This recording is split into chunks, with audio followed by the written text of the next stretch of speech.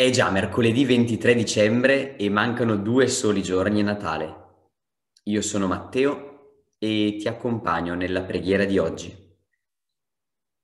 Iniziamo questa giornata nel nome di Dio che è Padre e Figlio e Spirito Santo. Padre che sei nei cieli, apri la mia mente, le mie orecchie e il mio cuore per ascoltare la tua parola dal Vangelo secondo Matteo. Il popolo che abitava nelle tenebre vide una grande luce. Per quelli che abitavano in regione e ombra di morte, una luce è sorta. Da allora Gesù cominciò a predicare e a dire, convertitevi perché il regno dei cieli è vicino. Che cosa abbiamo ascoltato?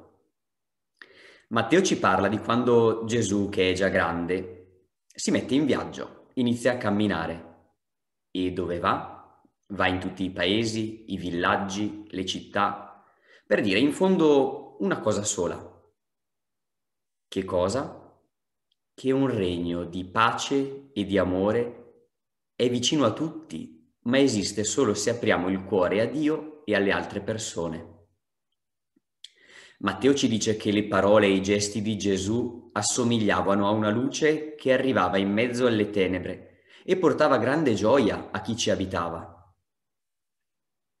Il Natale si avvicina, le luci sono accese nelle vie della nostra città, delle nostre case e ora anche la tua tenda splende. Manca davvero poco al Natale. Preghiamo insieme. Padre nostro, che hai creato la luce per vincere le tenebre, aiutaci a orientarci verso la tua luce. Signore Gesù, che ci hai mostrato il, che il regno dei cieli è vicino, fa che muoviamo i nostri passi verso il tuo regno. Spirito di Dio, che soffi nei cuori dei piccoli e degli ultimi, aiutaci a scorgere la tua azione nelle nostre vite. L'impegno di oggi. Impegno non semplice.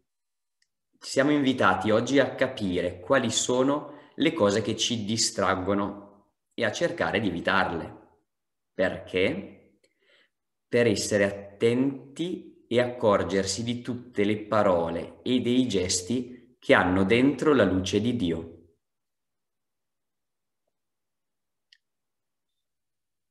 Chiediamo a Dio che ci aiuti e preghiamo con la preghiera che ci ha insegnato Gesù.